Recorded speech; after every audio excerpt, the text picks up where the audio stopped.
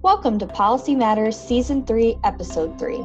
Policy Matters is a video chat series between Teri Talan of the McCormick Center and a guest thought leader in early childhood policy.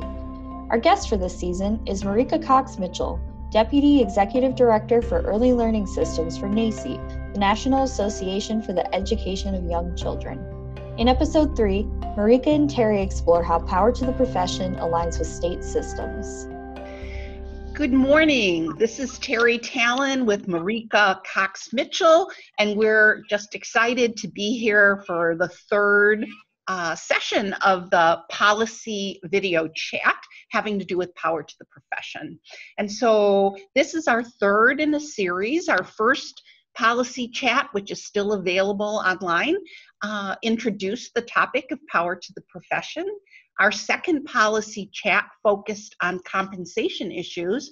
And this, our third policy chat, is going to focus on how power to the profession engages, works with, supports, uh, the work of state professional development systems. And so I just want to ask Marica to get us started about how have the state professional development systems and system leaders been engaged to date in the power to the profession? Sure. First, just want to say thank you for um, providing this opportunity for us to have these open conversations and pretty much model what we want others to do in the field. Um, Power to Profession is an opportunity for us as early childhood educators to define the profession on our own terms. And to do that, we need to have some really open, frank conversations, and you've provided many opportunities for us us to do so. Um, Power to the Profession has involved uh, state leaders, uh, state policymakers in multiple ways. One is first we have uh, NAEYC affiliates um, engaged in this work, ensuring that they are building relationships, looking at the lessons learned they have from their perspective to inform decisions we're making um, at a national level. We have McCormick, National Governors Association, um, and others serving as uh, part of the Power to the Profession stakeholders uh, group. And that group is informing Power to the Profession and making sure that Power to the Profession is also elevated in conversations with state, like National Registry Alliance is an, a good mm-hmm. example of a, a system that is currently focused on workforce uh, development in states. And so we have provided multiple opportunities at national level as well as the state and local levels to ensure that the decisions we're making certainly aligns with what works best, but also noting that ask for change if we too aren't willing to change and that power to the profession as the decisions are being made are forcing us all, including NAEYC, to look in the mirror and say what can we do better and what can we change. Yeah, well, thank you. Um, I think I mentioned at our last policy chat that I had the opportunity to um, lead a discussion about power to the profession at our, our steering committee of the professional development system for early childhood in Illinois. And um, there's it's been a really interesting experience because people had varying um, levels of knowledge and involvement uh, in power to the profession. Many people had responded to the decision cycle um, inquiries as individuals, and yet um, we really hadn't thought deeply about it from uh, the representation of the system itself. And so we, uh, a couple of things have happened, and I, I bring this up because I think it's kind of a model for how things might happen or should happen in other states. Um, is that uh, we've had I, the first place of impact in doing this was that we wanted our strategic plan to be proactive about being involved in the process. And so we've always had a committee that had to do with being kept apprised of um, trends in the field. But this time, in our strategic planning process that just happened to to be you know coincide with um, power to the professions uh, discussion that we started having at the state PDAC level, Professional Development Advisory Council, was that we want to be proactive in not just being aware of trends, but helping to shape the direction. And so I think a really positive thing that has come out of this is that we are going to continue meeting with those who are interested and formulate a response from the state professional development system perspective and share that with power to the profession you and others um, in in that way. And it made me realize that um, there's different perspectives depending what hat you wear. And i can speak to that personally from the point of view that i've responded to each of the decision cycles both as an individual also representing the mccormick center but i hadn't really rep- represented the broader state system perspective. So that's why I asked you about how state PD systems are involved, because I think it's really important that they uh, are a part of the, the decision making and um, iterative process that you've designed for Power to the Profession. Uh, yeah, absolutely. And uh, we recognize that there is good work done in the field, that um, in um, this measure to advance as a unified profession will certainly build on what works well and state uh, PD systems have had some really great lessons learned, can um, share with us where they felt the gaps were, um, and also point to where we need to um, focus to improve the workforce. And so we are definitely using their perspective. And yes, some have responded um, as a collective and others as um, individuals. And this is an all hand on deck moment. And so all perspectives are welcomed in the task force, um, including NAEYC, uh, will be looking at all perspective to make the unifying um, definitions for the profession.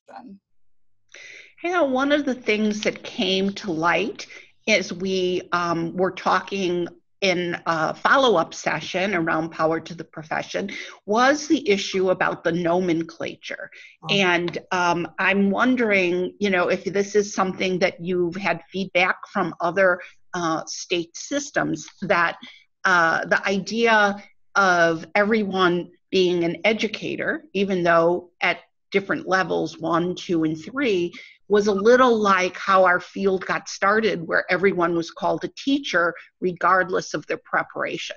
And so um, I know that that is an issue that was, you know, hotly discussed at a meeting we had um, earlier in the week, and I'm wondering what, uh, how, how has that decision been received, or that that proposal for early educator one, two, and three?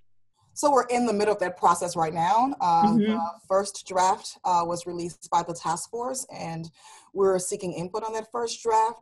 Um, and so we're still going through the initial quantitative as well as qualitative uh, feedback. I can just mm-hmm. share some of the feedback we're hearing more from the qualitative side.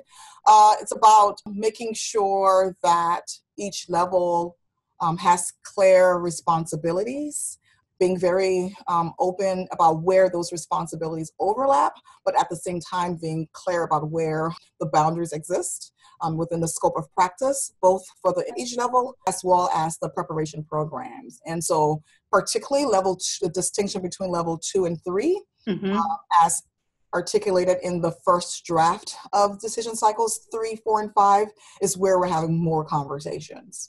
Okay. Okay. Yeah. And I mean, here's where I might get a little provocative because this was a thought that occurred to me from the conversations that I've been a part of, which I'm just thrilled. I mean, because that's what we want. We want everyone to really be connected um, and participate and hear and feel like they're they're heard, um, they're engaged, and that's definitely happened with the state team work um, in Illinois.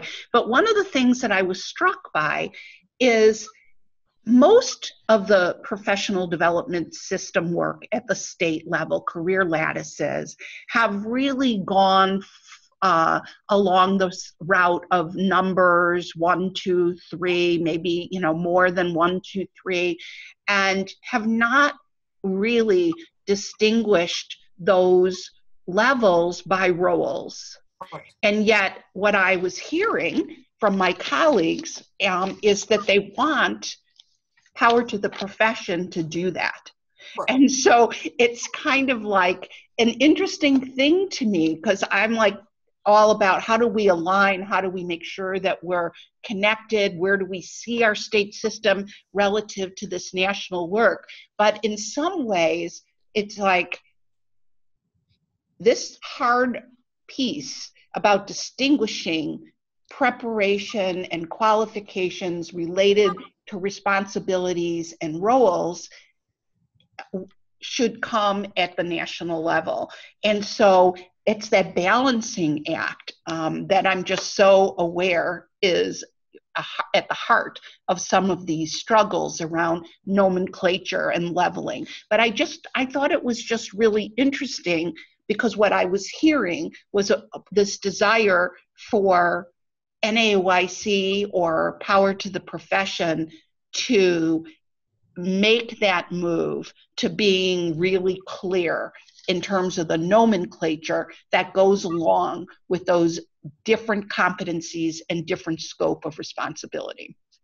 Absolutely. And so, in this, again, this is just the first draft. Uh, because nomenclature means so many different things in so many uh, communities as is currently used, it the task force decided to stay with the ECE1, ECE2, ECE3 label mm-hmm. and be mm-hmm. relatively agnostic right now. Um, they may decide to rethink that strategy as they get more feedback from the public, but felt like for this moment in time, using existing labels would um, derail the process and not have our uh, experts in the field look at what's behind those labels, which is really the depth of the preparation as it uh, relates to the competencies as well as the responsibilities. Well, thank you, Marica. And I'm sure that people who are uh, tuning into this video chat need to know that it's an open process, that nothing is written in stone yet. Um, and hearing you say that things are open for revisiting, I think, is a really important message.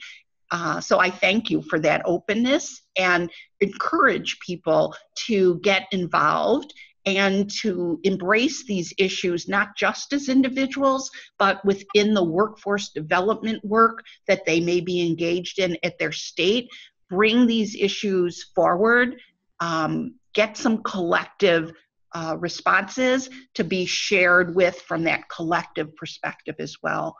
Absolutely. And, and, uh, just to say something else about sort of the career lattices as they exist today in connection to the leveling of um, the first draft, I think it's also important to point out that it also lays the foundation for compensation.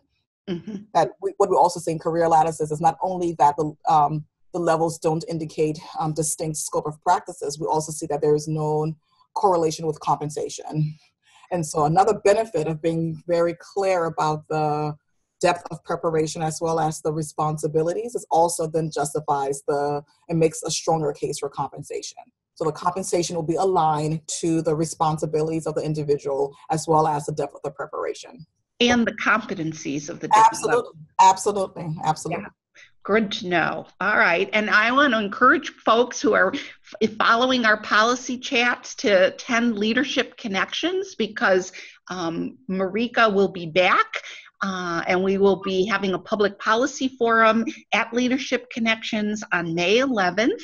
And the focus of that session will be looking at the role of program leaders in relation to power to the profession. So um, stay tuned for the next chapter in person um, and come to Leadership Connections to uh, ask your questions of Marica and others head on. So thank you very much, Marica, for participating in this series, and I look forward to our continued work together supporting. And empowering the profession. Absolutely. Thanks, Teri, for this opportunity. Thanks to Marica for joining us, and thanks to you for watching. Join the conversation with Teri and Marica in person at Leadership Connections National Conference. In the meantime, what questions do you have about power to the profession? Tell us in the comments section below. Until next time.